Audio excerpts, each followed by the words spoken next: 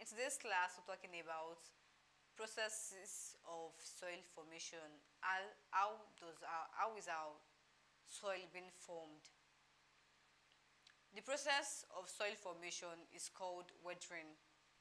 Weathering is defined as the disinstigation or breakdown of rocks into tiny pieces to form soil. Weathering is defined as the disintegration or breakdown of rocks into a tiny piece to form the soil. In other words, weathering can also be defined as a breakdown of rock masses, which are the rock materials, in smaller or similar forms through the agents of the physical, chemical, and biological processes. So our, our soil, process of soil formation is called the weathering and it's just a breakdown of our rocks into a tiny piece to get our soil. That's just how our soil is being formed.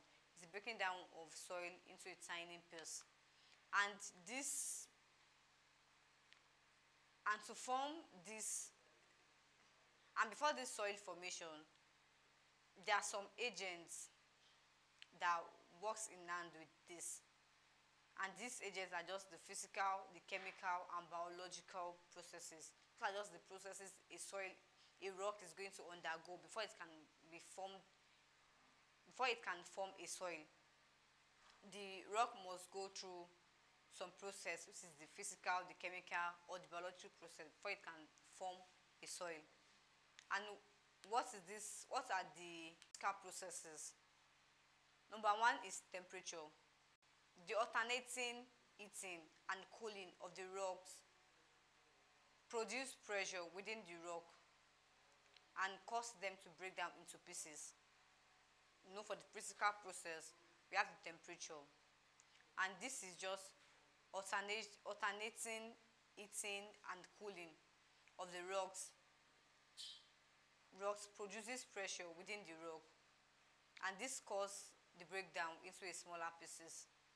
Wind also, as one of the physical processes, as a result of grinding of rock surface by solid materials carried by wind, water, and moving ice, rock break down to form soil. Another physical process is our eyes.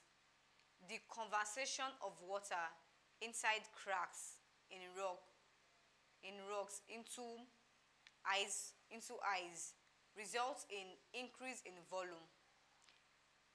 This increase in volumes results in more pressure being extracted on the rock walls which eventually breaks into a smaller pieces.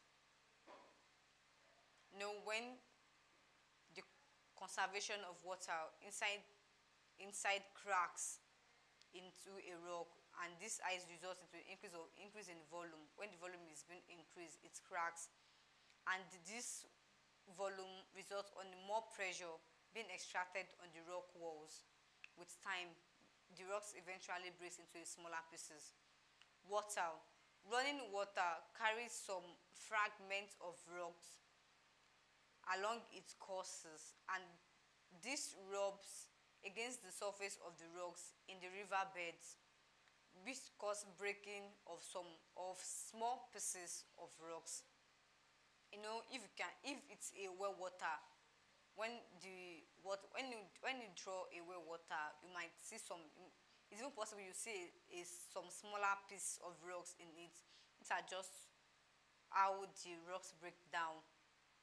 Into smaller pieces running water. In a running water, you will see some fragments of rocks along its course, and this rubs against the surface of the rocks in the river beds also, and this breaks down into small pieces of rocks. The chemical process, we have solution, and this occurs when water dissolves and soluble minerals present in the rocks are carried from place where water flows. When water dissolves and soluble minerals present in the rocks are carried from where, from a place where water flows. These are the chemical process. For the carbonation, atmospheric carbon dioxide mixes, mixes with rainwater to form a weak carbon, carbonic acid. This acid dissolves rocks, resulting in their breakdowns.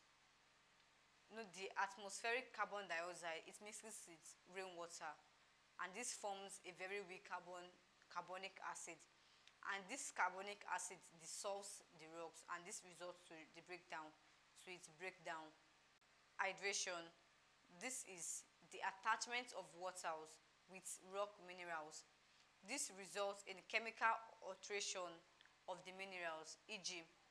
the cons the conversion of iron 2 rocks to hydrated rocks this is how we the what no, we said the attachment of water with rock minerals. That's just the hydration.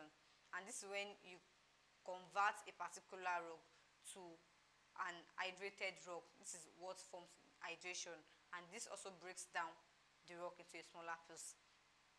Hydrolysis, the reaction of water with rock minerals to produce a rock. Entirely different from the original one. When you produce a rock that is different from the other one.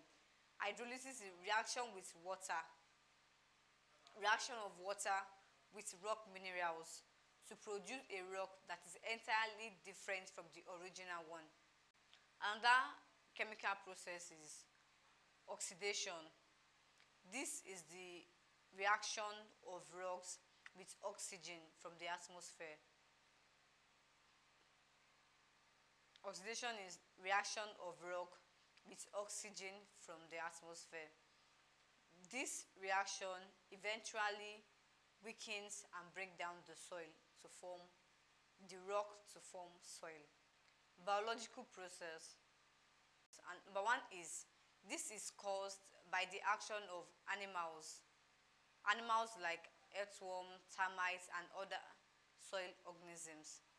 Movement of, this of these organisms causes some causes some fragments of rocks to disintegrate. Their movements on the rocks, they, co they cause some of the fragments, small of the rocks to disintegrate. Earthworms and termites burrows into the rock and break off fragments of the rocks. And just they wrinkle the rocks and break off the fragments of it Another biological process is the roots of growing plants penetrate rocks through the cervix, exerting pressures which split some rocks.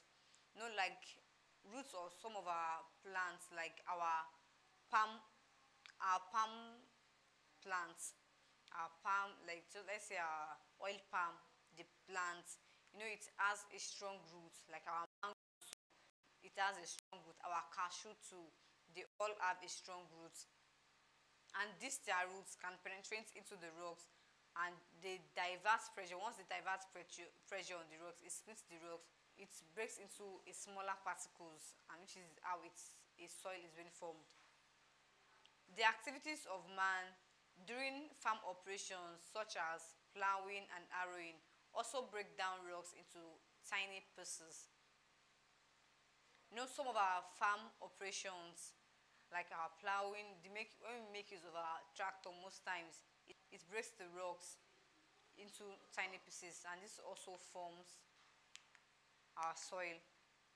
Thank you very much for watching. We'll see you in our next class. In our next class, talking about the factors of soil formation. Thank you very much.